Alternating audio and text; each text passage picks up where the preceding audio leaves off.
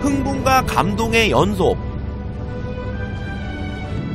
어, 지금 보이는 저 섬이 이제 라이레이 섬인데요. 이 끄라비에서 굉장히 유명한 암벽 등반 코스가 있다고 합니다. 가게 되면 또 어떤 재밌는 어, 그런 프로그램이 있을지 굉장히 기대가 되네요. 바다로 툭 튀어나온 반도에 양옆으로 자리 잡은 두 개의 해변.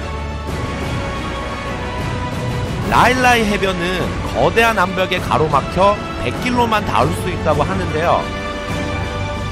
그래서 육지 속의 섬이라 불린다는 라일라이는 병풍처럼 둘러싸인 바위 해변이 절경을 이룹니다.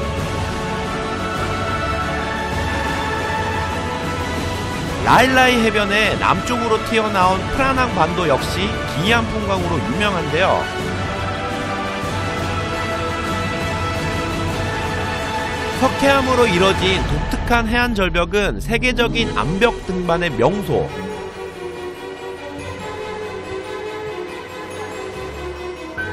기기묘묘한 형상의 절벽은 언제 봐도 신비롭습니다.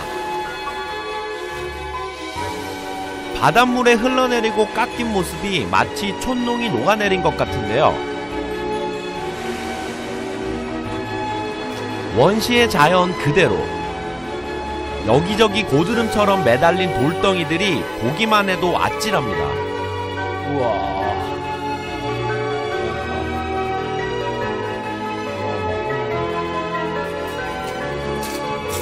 원초적인 자연의 숨결이 고스란히 전해지는 석벽.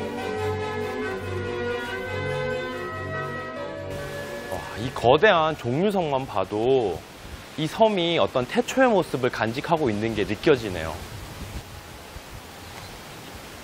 그래서 모험심을 부르는 걸까요? 프라낭 반도의 암벽 등반 코스는 수백 개에 이른다고 합니다.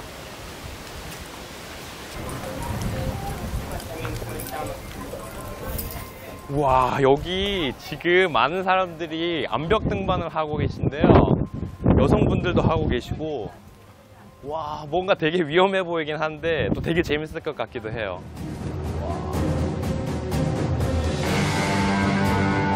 아찔하게 깎아지른 수직절벽. 아슬아슬하게 매달린 사람들이 고개하듯 오릅니다. 한 발 한 발 신중한 모습들. 등반 코스가 다양해서 전문가들 도움을 받으면 초보자도 도전할 수 있다는데요. 그렇게나 암벽 등반이 즐거운 걸까요? You like it? I cannot tell more. 아 이게 just You have to like. Where's the song? You have to get more into it. Just try and then you'll learn. Yeah, it's just beautiful, like nice big holds. And, You know, good place to learn, I think. Yeah. yeah. 도전하기에 더없이 좋은 기회. 지금 이제 출발 한번 해볼게요. 처음이지만 열심히 한번 해보겠습니다. 차근차근 한 걸음씩.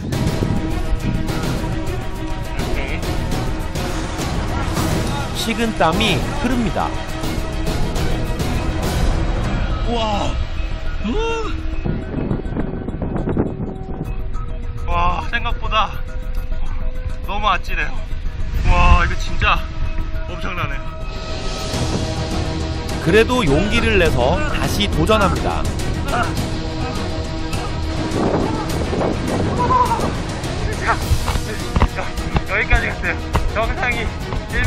남았는데 더 이상 발이 떨어지지 않는 상황. 이렇게. 이렇게 배를.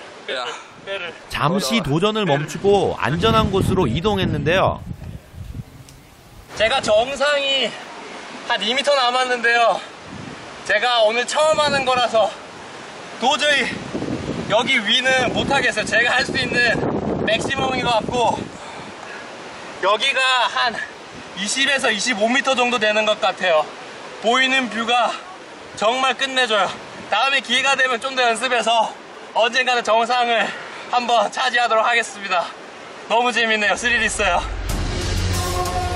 수많은 도전을 받는 거친 자연의 담대함과 의연함이 끄라비를 더욱 특별하게 합니다.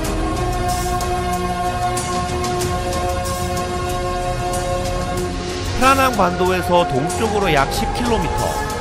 오랜 세월 쌓이고 쌓인 시간의 흔적이 남아있다는 수산호 해변.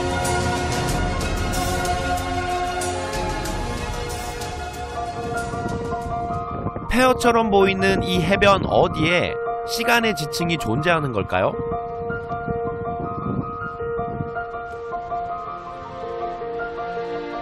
와, 여기 굉장히 신기한 게 있네요. 와, 이게 뭐야? 오, 수많은 조개들이 선명한 형태로 박혀 있는 화석층. 부서진 돌더미가 모두 화석이 박힌 지층이었는데요. 어, 여기는 수산호입니다. 태국어로 수산호이는 조개 화석을 의미하는데요. 다른 이름으로는 조개의 무덤이라는 별명을 가지고 있다고 합니다. 어, 7,500만 년이 되는 어떤 시간 동안 조개 화석들이 쌓이고 쌓여서 이런 어, 지층을 어, 만들었다고 하는데요.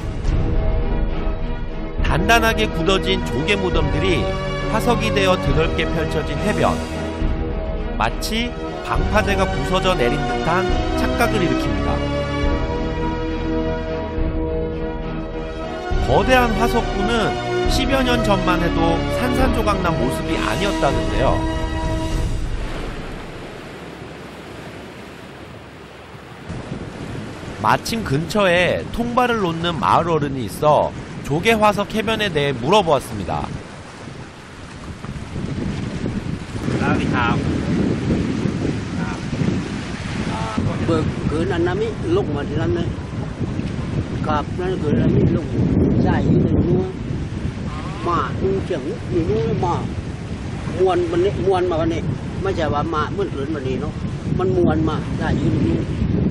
แต่ยืนนู้นแต่มันเป็นวังเอายืนนั้นมันยืนนั้นไม่ใช่แท้กว่านี้อะยืนอันนั้นมิมันกัดแล้วนั่นเนี่ยหางนั้นมันเป็นหางเอาที่ก้นน้ำครึ่งเลย 하지만 바다는 여전히 삶의 터전이었는데요. 와, 이거 뭐, 와, 이제 잡혔네. 어, 여기 개가 잡혀 있어요. 어, 이렇게 덫을 쳐서 개를 어, 잡나봐요. 통발만 넣으면 얕은 해변에서도 잡힌다는 바닷개. 닭고기 미끼를 써서 통발을 담가두면 하룻밤 사이에도 묵직하게 수확할 수 있다고 합니다. 바닷개는 1kg에 60바트. 우리 돈으로 2,000원 정도에 파는데요. 오늘은 저를 위해 요리를 해주겠다고 합니다.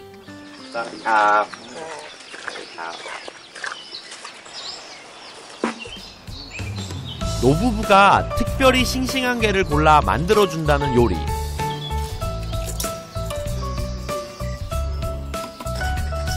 어떤 요리일지 벌써부터 기대가 됩니다.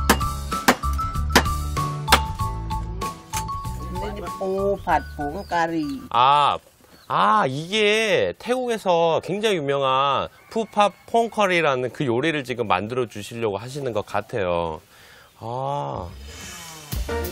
게 내장을 먼저 발라내고 기름에 마늘과 내장을 넣고 볶습니다. 카레로 볶은 게 요리란 이름답게 진한 카레 가루도 듬뿍 달걀을 풀어 걸쭉한 양념을 만드는데요. 거기에 통째로 게를 넣고 볶습니다.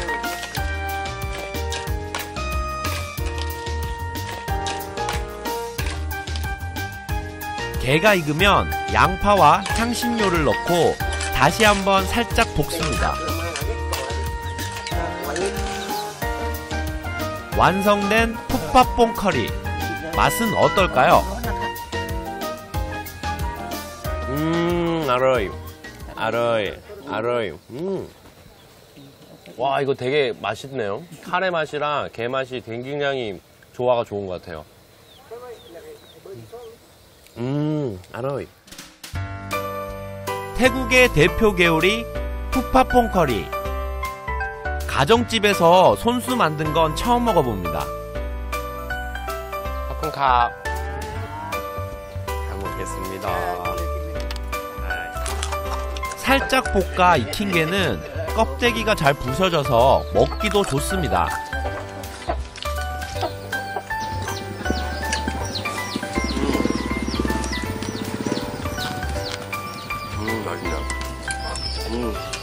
맛있어요. 진짜 맛있어요. 끄라비에서 이제 끄라비의 명물인 이를 게를 어, 잡는 방법도 배워보고 또 이런 맛있는 음식 특히 이 명물인 뿌빵퐁 커리 이 음식을 실제로 어떻게 요리하는지도 보고 맛도 보면서 어, 정말 새로운 경험을 하게 됐고요. 그리고 무엇보다 이 가족분들께서 정말 따뜻한 마음으로 환대를 해주셔가지고 어, 너무 따뜻한 그런 정을 느낄 수 있는 것 같아요. 맛있는 음식만큼이나 어, 또이 끄라비의 아름다움을 느끼고 갈 수 있는 것 같네요. 음, 헛금카. 넉넉한 마음과 푸근한 정을 나누었던 시간.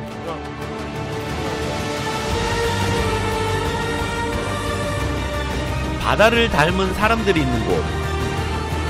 강인하고도 아름답고 활기차면서도 여유로웠던 끄라비였습니다.